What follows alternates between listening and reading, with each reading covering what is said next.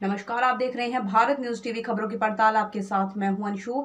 खबरों का रुख करते हैं। होशंगाबाद संभाग मुख्यालय पर हुए बहुचर्चित मिनी हनी ट्रैप गैंग द्वारा की जाने वाली ब्लैकमेलिंग मामले का सनसनीखेज खुलासा होने के बाद जाँच में दोषी पाए जाने पर पुलिस अधीक्षक संतोष सिंह गौर ने महिला head constable Jyoti Manjhi, head constable Tara Chand Jatav व कांस्टेबल मनोज वर्मा को निलंबन के बाद मंगलवार को नौकरी से बर्खास्त कर चुके हैं। इस मामले में फंसे सिटी कोतवाली के उप निरीक्षक जय नलवाया की जाँच डीआईजी जगत प्रताप सिंह राजपूत को भेजी गई थी।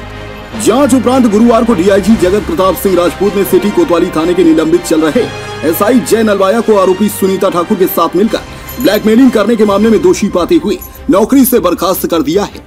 आपको बता दें कि इस पूरे मामले का खुलासा गैंग की सरगना आरोपी, महिला सुनीता ठाकुर ने ही पुलिस अधीक्षक सहित आईजी को शिकायत की थी।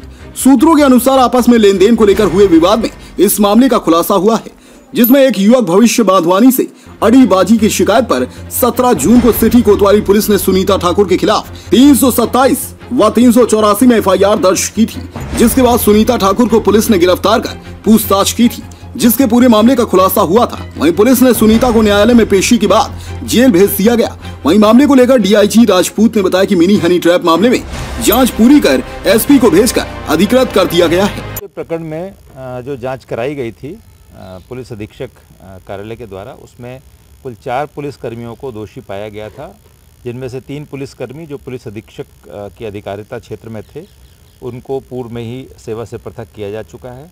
चूँकि उप निरीक्षक स्तर के अधिकारी का जो अधिकार है, वो पुलिस अधीक्षक का नहीं है तो उसकी रिपोर्ट, जाँच रिपोर्ट जो है, वो डीआईजी होशंगाबाद की ओर भेज दी गई थी।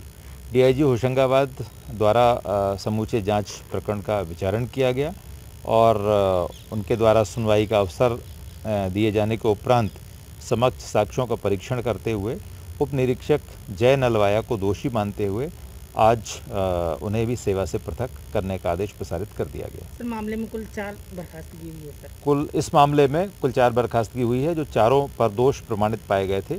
चारों ही पुलिसकर्मियों को बर्खास्त कर दिया गया। ठीक सर।